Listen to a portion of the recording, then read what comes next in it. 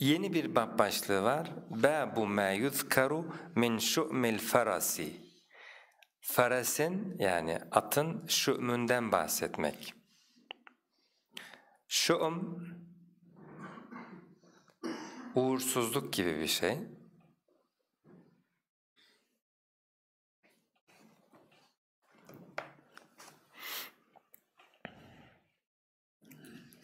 2703 nolu hadis dediniz.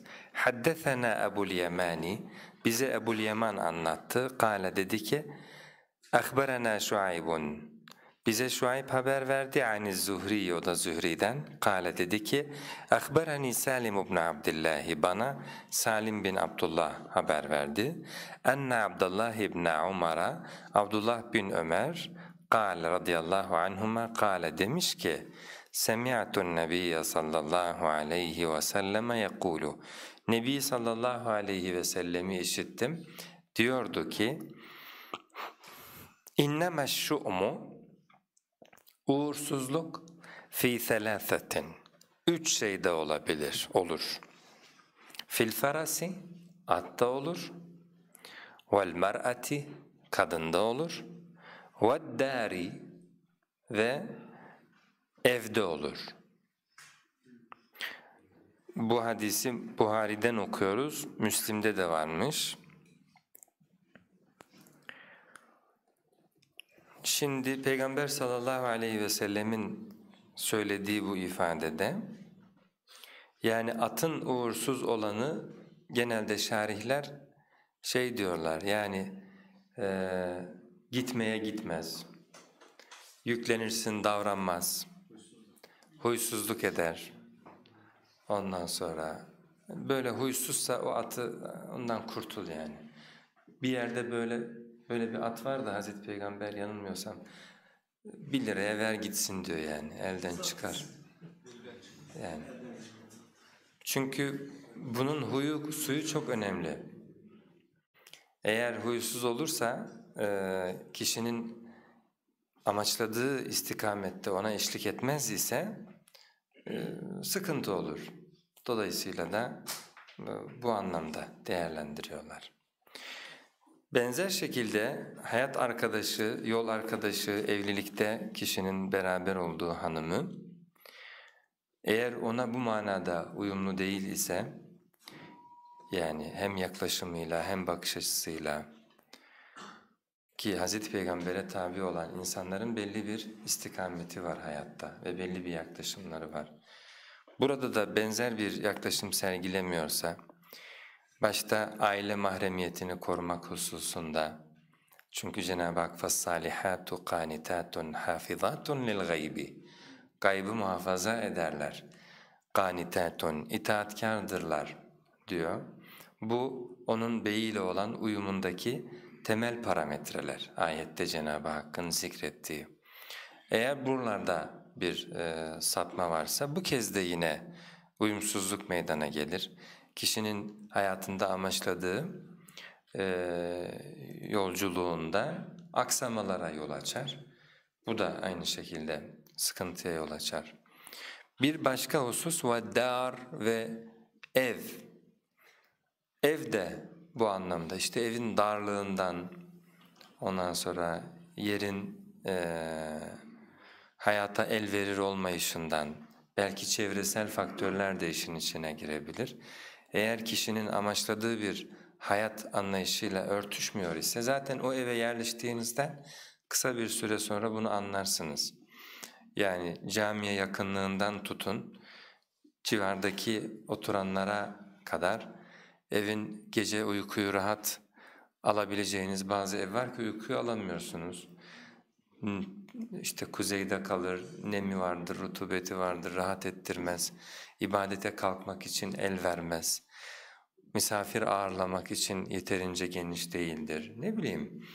Dolayısıyla bunlar kişinin e, hayatta mümince yaşayabilmesi açısından e, sağlanması gereken temel hususlar. Eğer buralarda aksama var ise bu sefer müminin hayatına başka alanlara sirayet etmeye başlar. İşte bunu Hazreti Peygamber şuum olarak tarif etmiş. Kötü bir e, nokta ve etrafına yayılıyor. Yani uğursuz kelimesiyle benzetilmesi bu. Et, olduğu yerde kalmaz, yayılır. Başka şeylerin e, hayattaki diğer hususlardaki e, yaşamın akışını bozar. Mesela at böyleyse akışı bozar. E, hanım böyleyse akışı bozar. Tabi e, erkek açısından hanım nasıl böyleyse hanım açısından da erkeğin e, böyle olması rahatlıkla anlaşılabilir. Çünkü Cenab-ı Hak buyuruyor ki وَلَهُنَّ مِثْلُ الَّذ۪ي عَلَيْهِنَّ Yani kadın, er, kadınların üzerine ne kadar sorumluluk varsa karşılığında erkekler üzerine de onların hakları vardır. وَلَهُنَّ مِثْلُ الَّذ۪ي عَلَيْهِنَّ Bu karşılıklı. مِثْلُ الَّذ۪ي عَلَيْهِنَّ بِالْمَعْرُوفِ Nasıl ki erkeklerin kadınlar üzerinde hakları varsa, kadınların da ona benzer bir şekilde erkeklerin üzerinde hakları vardır. Ne var ki وَلِلْرِجَالِ عَلَيْهِنَّ دَرَجَةً Erkeklerin kadınların üzerinde bir derece üzerlerinde e, hakları vardır. Dolayısıyla bu onları hani sevk ve idare etmek hususunda yetkili kılar. Çünkü e, bu birlikteki e, yaşamın eğer tam ortada bırakılırsa söz, yönetim erki ki hiçbir yerde böyle yapılmaz. Yani bir komisyon bile kurduğunuzda sayıyı tek seçersiniz ki karar çıksın. E iki kişiden eğer yetkiyi bütünüyle ortada bırakır, hak ve ödevleri karşılıklı yüzde ellide sıfır noktasında bırakırsanız o zaman yol alamama çoğu hususta, ihtilaf ettikleri her hususta tıkanma meydana gelir. Bazen komisyonu çift sayıda olsa bile bu sefer ne yapıyoruz? Başkana iki yetki veriyoruz.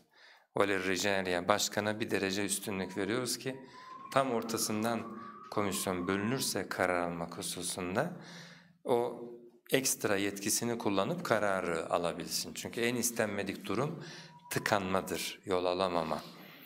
Buna sistemi gebe kılmamak lazım. Allah Azze ve Celle toplumun en temel yapı taşı olan aile sistemini böyle bir tıkanmaya gebe kılmamıştır. Erkeğin eline bir derece sorumluluk fazla vermiştir ki süreç ilerleyebilsin diye.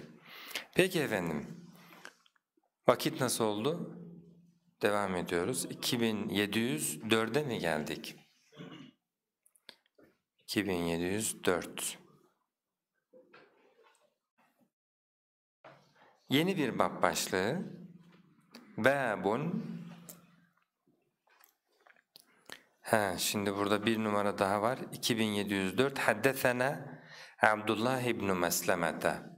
Deminki bab altındaki ikinci hadis bize Abdullah bin Mesleme anlattı. An Malik'in o da Malik'ten. An Ebi Hazim ibn Dinar'in o da Ebu Hazim bin Dinar'dan. An Sehl ibn Sa'din es-Sa'idi o da Sehl bin Sa'd es-Sa'idi'den enne Resulallahi sallallahu aleyhi ve selleme kâle. Resulullah sallallahu aleyhi ve sellem demiş ki in kana fi şey'in eğer bir şeyde olsa şimdi hadisin lafzı değişti. Bu lafız bize deminkinden daha başka şey anlatıyor. Deminki hadisin lafzında şuum yani uğursuzluk ancak üç şeydedir gibi girdi lafza. Ama bu hadisin lafzı diyor ki in kana fi şey'in eğer bir şeyde olsa yani normalde yok demek ki. Yani uğursuzluk diye bir şey yok. Olsa olsa bu üçünde olurdu şeklinde bir ifade bu kez. O zaman bu uğursuzluk denen kavramın da e, temelli bir şey olmadığını algı düzeyinde bir şey olduğunu, eğer illaki bir uğursuzluk düşünecek olsa, olsa olsa atta olur, ondan sonra e, hanımda olur ve e, hanede olur şeklinde bir ifade.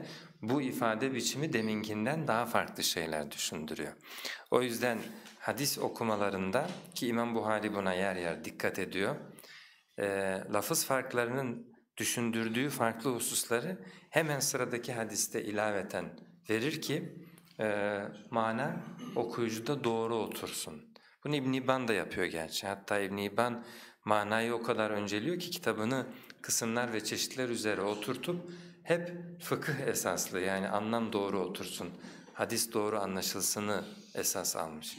İmam Buhari de e, bunu yapmaya çalışır.